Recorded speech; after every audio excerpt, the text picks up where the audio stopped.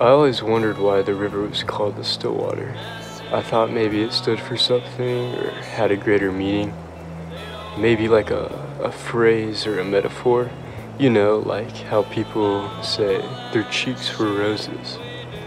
Anyways, I'm writing this letter to you. Maybe the water won't be still after all, if it reaches you.